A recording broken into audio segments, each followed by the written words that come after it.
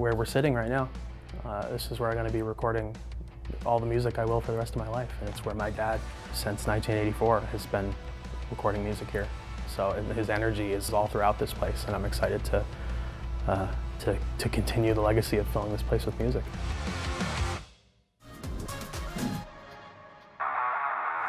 Wolfgang Van Halen was only 15 years old when he became the bassist for his father, Eddie's legendary band, Van Halen. Now, 15 years later, Wolfgang is ready to release his first solo album, Mammoth WVH, which comes out June 11th. One, two, three. And it doesn't get any more solo than this. The 30 year old musician plays every instrument and sings every note. I just kind of call it a hard rock album, but it, uh, it certainly goes to places that are softer um, or maybe even heavier. But I think anybody who likes rock music could find something they'd like. I'm just excited for everybody to hear it. The response to the what, five or six songs that we put out so far has been far and above anything I could have expected. So uh, I'm really excited for, hear, for everybody to hear everything else.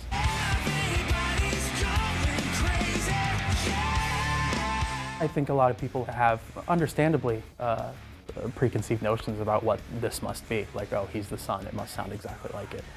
Um, but I've done everything I can to, uh, to be my own person, and you know, I, I think it really shows on the album. While the album's sound is definitely a departure from Wolfgang's work with Van Halen, the name is a nod to the band's history. The name Mammoth was actually the name of Van Halen uh, before Van Halen. It was a three-piece band that my dad sung and played guitar. Uh, it was my uncle Alex on drums and uh, a man named Mark Stone uh, on the bass. Um, and every time my dad would tell me that story, I always loved the name Mammoth so much that uh, when I grew up, I was like, or I would tell myself, uh, you know, when I grow up, I'm going to call my own band that.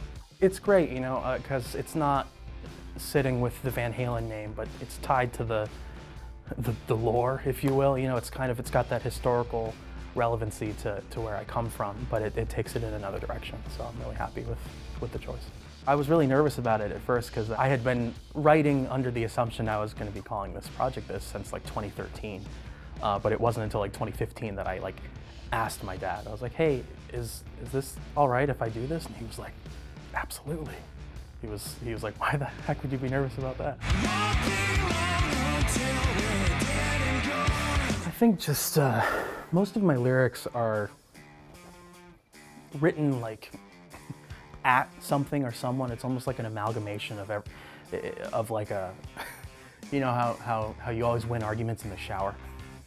it's it's, it's kind of like that. It's like anybody who's ever done me wrong or, or, or, or used me or, or lied to me kind of amalgamate into this one being that I kind of write lyrics at. Uh, so I think that's kind of, kind of what I'm working through on most of my songs. I mean, the whole thing is it's uh, as personal as it can be. Uh, uh, songwriting is a really therapeutic thing for me. So I, I, was working out a lot of stuff with these songs, but it's very freeing to be able to uh, start this path now rather than doing what everybody would expect me to do, to kind of get out there and just play covers of Van Halen songs and, and whatever. It's like, I don't think I'd ever want to do that, ever. I really want to be my own person, so I'm really excited to start this path. Gosh, he'd be so excited. He, he loved it so much. He, like, it was his favorite.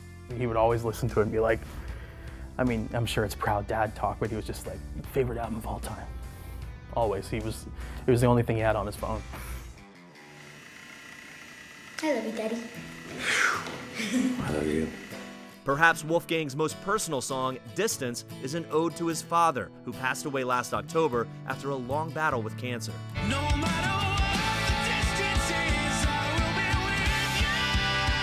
yeah, I mean, like I said, music is a really therapeutic thing, and, and being able to focus on on that and just paying tribute to my to my dad and our relationship was a really helpful thing for me to kind of uh, uh, grieve in that way, I guess. I'm so happy. Found a place. Work and, and, and, and working on, on all this music and, and, and getting it out to everybody has been uh, a really helpful distraction, a really welcome distraction. Uh, but other than you know spending time with my mom, my girlfriend, and my uncle, they've really helped me a lot throughout everything. Because it really takes me a lot of energy to kind of just get going and do and do anything. Uh, but uh, yeah, it's tough. It's really tough. Uh, I guess I'm a good actor uh, when it comes to pretending that everything's okay, but uh, it's really not. You know, you just kind of you got to keep going. And, and, kind of the big the, the big thing that really helps me keep going is my dad because if I if I just gave up and stopped and crawled in the hole, which I feel like doing every day, I know he'd be really pissed off at me. so it's the only thing that keeps me going. He was my biggest champion other than my mom. I'm an extension of him and uh, I'm just happy to be here uh, to spread the good word of who he was and, uh, and how he should be remembered. I think he is like a Mozart of our generation. I think 300, 400, you know, as far removed as we are from Mozart and we still talk about him and, and, and know who he is, that's what he's going to be.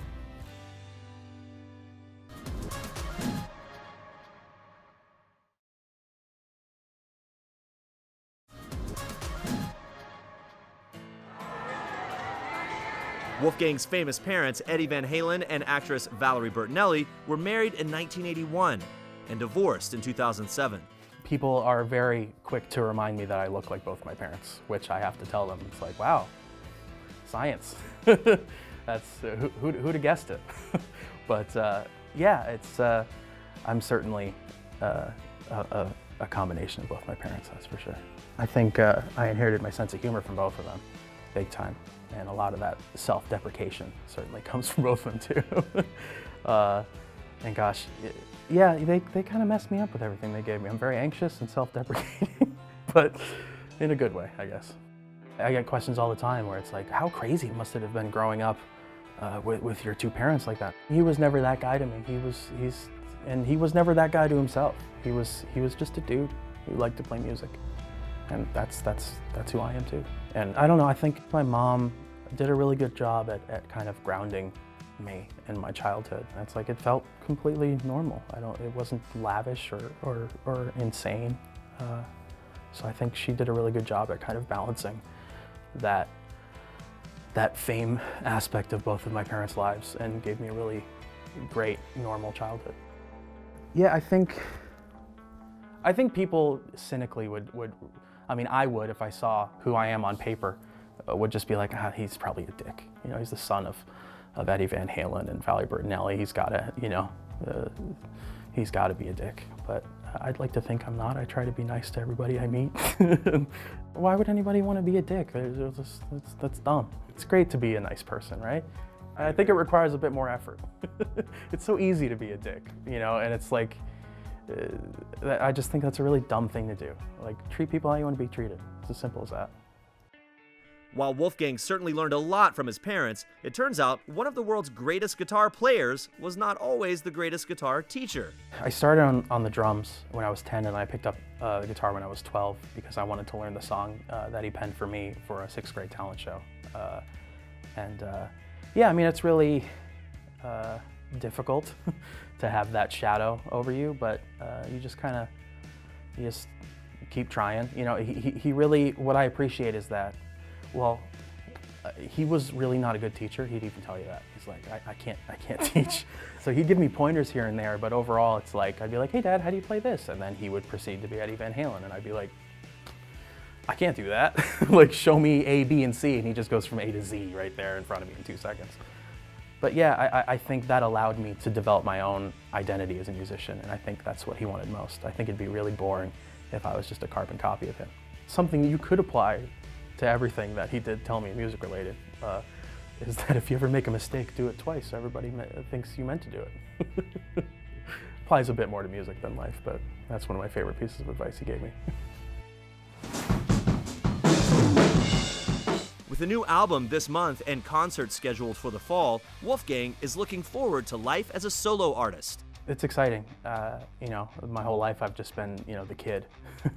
and I constantly have to tell, you know, I, have a lot of, uh, I'm thankful for, for all the people that follow me and the fans, but most of them uh, follow me because of who my parents are. So they, they tend to view me as like their kid.